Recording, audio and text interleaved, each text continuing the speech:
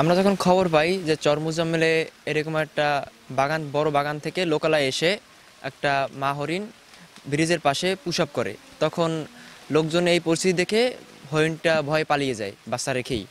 তখন লোকজনে পায়ে হরিণের খেদমত করে, তখন আমাদের অফিসার ভিট কর্মকর্তা কাজী রমিল হোসেন এর কাছে জানানো হয়, এ আমাদের পাঁচ, চার পাঁচজন আমরা স্টাফ মিলে একে যাই উদ্ধার করি।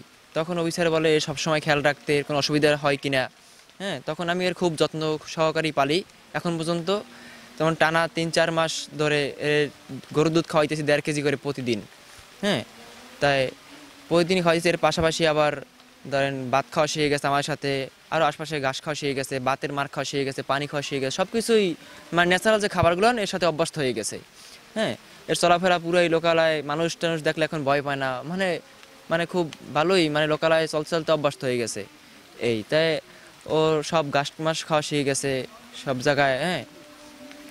তাই ও এখন মানে চারি ওর বয়স এখন পাঁচ মাস বিশ দিন, বিশ থেকে পঁচিশ দিন বয়স। এই এখন পর্যন্ত আমি পালতেছি, কোনো অসুবিধা হয়নি। নিজের মতনই, যেহেতু ওর মাদারে থাকলে হয়তো যত্ন নিতে খুব কতক্ষণ পর পর দুধ খাওয়াইতো। কিন্তু আমি ওর মার মতনই যত্ন নিছি, কোনো কমতি রাখিনি হ্যাঁ। মানে ওর মা বাপ বলতে আমিই বলতে পারেন যে আমি ওর মা বাপ হ্যাঁ কেন ছোটকাল থেকে আমি পালতেছি। একালে কতক্ষণ পর পরই দুধ খাওয়াইছি মানে রাত্রে তিনটে চারটের সময় উঠেও দুধ খাওয়াইছি এইরকম মানে আমার পাশে ঘুমাইছে এইরকমও সিচুয়েশন গেছে, খুব ভালোই লাগল। যে আমিও নতুন চাকরিতে আইসি এইরকম একটা হরিণ পালতেছি, খুব ভালো লাগছে।